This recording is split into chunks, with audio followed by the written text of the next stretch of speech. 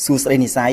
បាទសួស្តីសំណាងនិស័យម្សិលមិញនេះនៅបារាំងមានក្បួនដង្ហែដ៏ធំកម្រឃើញមួយដែលមានមនុស្សរាប់លាននាក់និងមេដឹកនាំពិភពលោកជាច្រើនអ្នកផងដែលរៀបចំឡើងក្រោយពេលដែលមានករណីវាយប្រហារដោយក្រុមភេរវជនសម្លាប់មនុស្សអស់ជាច្រើនអ្នកជាពិសេសអ្នកកសែតតែម្ដងតានិស័យអាចជួយលម្អិតពីព្រឹត្តិការណ៍ម្សិលមិញតាក់ទិននឹងអ្នកចូលរួមនឹងការរៀបចំបន្តិចបានទេបាទ បាទសំណាងក្បួនដង្ហែដ៏ធំម្សិលមិញនៅបារាំងនេះគឺបង្ហាញពីការរួបរวมសាមគ្គីគ្នារវាងបណ្ដាប្រជាជននៅលើពិភពលោកជាមួយនឹងប្រជាជនបារាំងដើម្បីប្រឆាំងនឹងក្រុមភេរវជន ក្រោយកើតមានករណីវិប្រហារទស្សនាបដី Charlie Hebdo កាលពីសប្តាហ៍មុននេះ ម្សិលមិញនេះកងកម្លាំងសន្តិសុខជាង2000នាក់ត្រូវបានគេដាក់ពង្រាយការពារសុវត្ថិភាពបណ្ដាអ្នកចូលរួមប្រមាណ3លាននាក់ហើយនៅលើដំបូលអគារនីមួយៗគេសង្កេតឃើញមានក្រុមកងកម្លាំងពិសេសផងដែរដើម្បីធានាថាមិនមានបញ្ហាអ្វីកើតមានឡើងទេនៅពេលដែលមានក្បួនដង្ហែនេះគេសង្កេតឃើញមានអ្នកចូលរួមរហូតដល់ជាង3លាននាក់ហើយក្នុងចំណោមនោះមានបណ្ដាប្រមុខរដ្ឋប្រមុខរដ្ឋាភិបាលច្រើនជាង40នាក់ផងដែរដែលឈរនៅក្បែរមេដឹកនាំបារាំងលោកប្រធានាធិបតី François Hollande ចំណែកក្រុមគ្រួសារជនរងគ្រោះដែលបានស្លាប់នៅក្នុងករណីវិប្រហាររបស់ក្រុមភេរវជននោះក៏បានដើរនៅពីមុខក្បួនរួមជាមួយបណ្ដាមេដឹកនាំពិភពលោកផ្សេងទៀតដែរក្នុងចំណោមមេដឹកនាំទាំងនោះគេឃើញមាននាយករដ្ឋមន្ត្រីអង់គ្លេសលោក David Cameron អធិការបតីអាល្លឺម៉ង់លោកស្រី Angela Merkel នាយករដ្ឋមន្ត្រីអ៊ីស្រាអែលលោក Benjamin Netanyahu ប្រធានាធិបតីប៉ាឡេស្ទីនលោក Mahmoud Abbas នាយករដ្ឋមន្ត្រីអេស្ប៉ាញព្រះមហាក្សត្រសដងអាប់ឌុឡាទី2នាយករដ្ឋមន្ត្រីអ៊ីតាលីលោក Matteo Renzi ប្រធានាធិបតីអ៊ុយក្រែនលោក Petro Poroshenko និងរដ្ឋមន្ត្រីការបរទេសរុស្ស៊ី Sergei Lavrov ជាដើមផងដែរ សំណាងការប្រមូលផ្ដុំមនុស្សច្រើនសន្ធឹកសន្ធាប់នៅក្នុងប្រទេសបារាំងនេះត្រូវបានគេអះអាងថាច្រើនជាងចំនួនប្រជាជនដែលបានអបអរសាទរកងទ័ពបារាំងដែលឈ្នះកងទ័ពណាស៊ីនៅសម័យសង្គ្រាមលោកលើកទី2ទៅទៀតឌីសៃនិយាយពីព្រឹត្តិការណ៍មួយនេះតើមានអ្វីគួរឲ្យកត់សម្គាល់ហើយវាមានសារៈសំខាន់អ្វីខ្លះដើម្បីប្រឆាំងនឹងក្រុមភេរវជន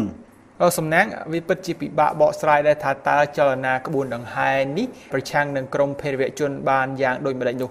តាមពិតទៅចលនារួបរวมគ្នានៃប្រជាជនក៏ដូចជាមេដឹកនាំពិភពលោកនៅក្នុងប្រទេសបារាំងនេះអាចជាការបង្ហាញនៃការសាមគ្គីរួបរวมគ្នាផ្នែកស្មារតីរិឆន្ទៈនោះហើយនឹងប្រាប់ទៅកាន់ភេរវជននៅលើពិភពលោកថាប្រជាជនមិនខ្លាចនឹងបាក់ស្បាតដោយសារក្រុមភេរវជននោះឡើយ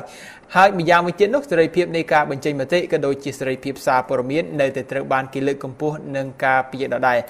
សំណាងម្យ៉ាងវិញទៀតយើងអាចចាត់ទុកថាការដើរជាក្បួននេះវាអាចជាការសម្ដែងនៅការកាន់ទុកនិងគោរពវិញ្ញាណក្ខន្ធដល់អ្នកស្លាប់នៅក្នុងការវិប្រហាររបស់ក្រមភេរវជនផងដែរ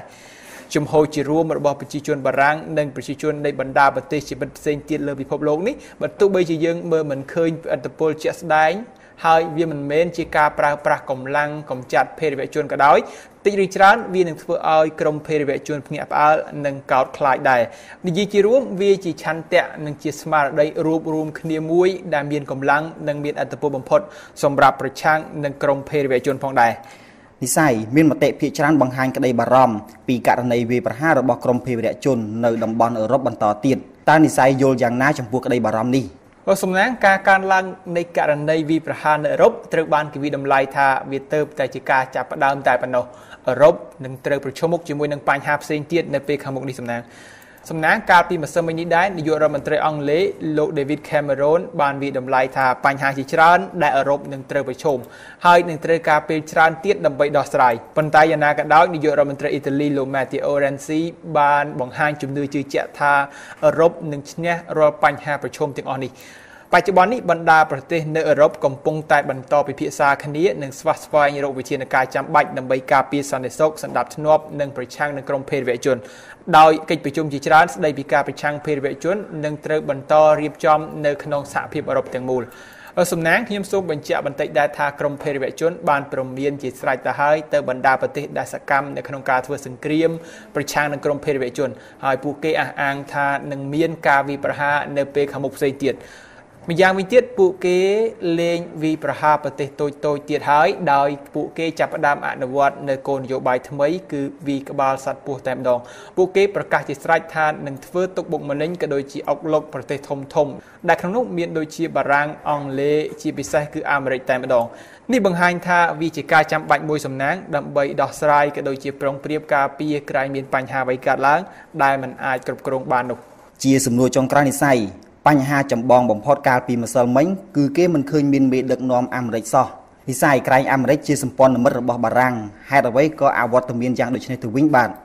សំណាងអវត្តមានមេដឹកនាំអាមេរិកក្នុងយុទ្ធនាការកាលពីម្សិលមិញនៅក្នុងប្រទេសបារាំងកំពុងតែធ្វើឲ្យសាធារណជនចាប់អារម្មណ៍និងបន្តពិភាក្សាគ្នាមានអ្នកខ្លះរិះគន់អាមេរិកដែលមិនចូលរួមក្នុងយុទ្ធនាការជាប្រវត្តិសាស្ត្រនេះថែមទៀតផងសមាជិកសភាអាមេរិកម្នាក់នោះក៏បានរិះគន់ពីការអវត្តមានរបស់ប្រធានាធិបតីអាមេរិកលោកបារ៉ាអូបាម៉ាផងដែរ តាមពិតទៅមិនទាន់មានព័ត៌មានណាមួយបញ្ជាក់ច្បាស់ពីករណីអវត្តមានរបស់មេដឹកនាំអាមេរិកនេះនៅឡើយទេប៉ុន្តែម្សិលមិញនេះលោកអូបាម៉ានិងអនុប្រធានាធិបតីលោកโจ Biden ឬក៏ភរិយារបស់លោកអូបាម៉ាស្ថិតនៅក្នុងសហរដ្ឋអាមេរិកនិងមិនមានកិច្ចការរវល់នោះឡើយ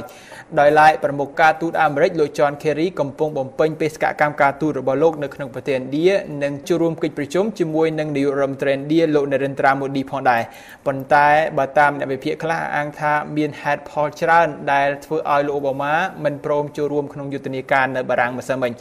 វាអាចមកពីលោកព្រួយបារម្ភចំពោះសុវត្ថិភាពនិងបញ្ហាសន្តិសុខនៅពេលដែលលោកធ្វើដំណើរទៅប្រទេសបារាំងនិងចូលរួមជាមួយនឹងចលនាក្បួនដង្ហែដែលមានមនុស្សរាប់លានអ្នកដូចនេះប៉ុន្តែយ៉ាងណាក៏ដោយ គេបានឃើញហើយថាក្រោយមានករណីវាប្រហារនៅបារាំងកាលពីសប្តាហ៍មុនលោកអូបាម៉ានិងលោក Kerry